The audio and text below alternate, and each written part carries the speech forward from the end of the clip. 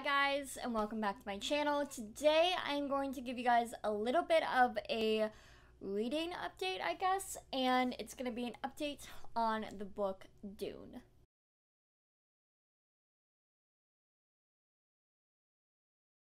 If you guys don't know, Dune is a sci-fi fantasy novel and it's had two movies previously but this year in like two months it's gonna have another movie out and it has zendaya jason momoa um, oscar isaac a ton of big names and it looks amazing. So i went ahead and picked up the book and it's called dune by frank herbert and it's all about this desert planet and these sandworms and politics and all of that. So I wouldn't recommend it for everybody because it is some really big themes and I just thought that I would come come on here and talk about how far I've gotten in the book so far, how my progress has been, kind of my thoughts up till now.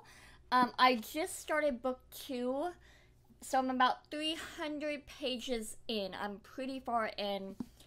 So basically, this will be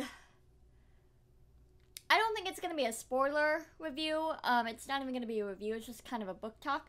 But basically, I've really, really enjoyed it. The things I haven't really enjoyed, and I use that loosely, is basically just terminology.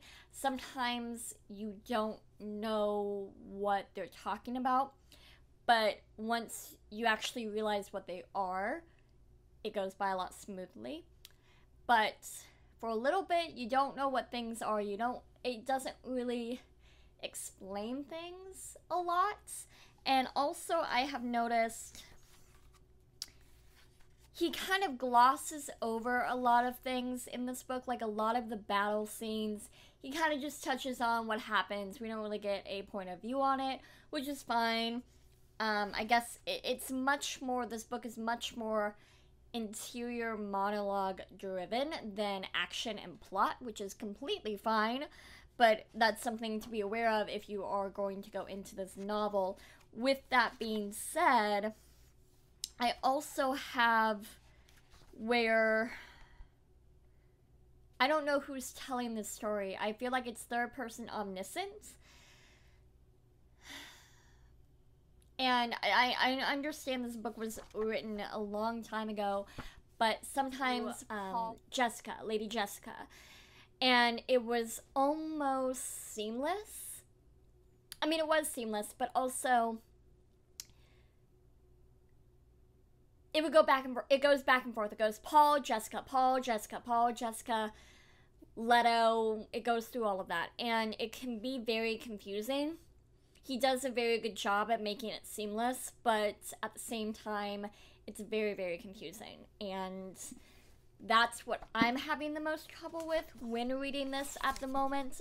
But with that being said, I just, I, I really have been enjoying the book. So,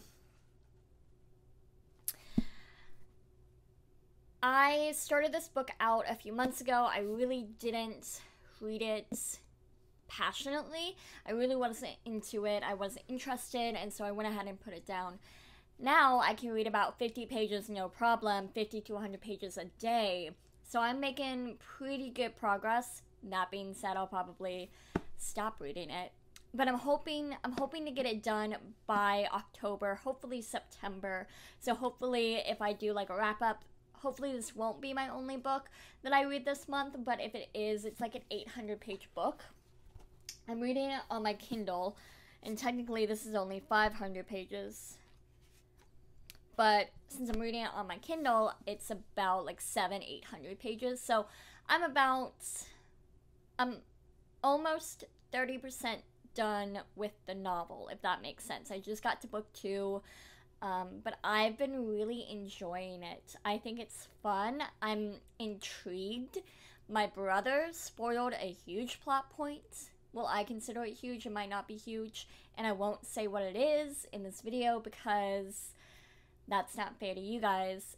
I was so mad. I was intrigued by the seeds that Frank planted, And I was like, there's something there, there's something there, there's something there.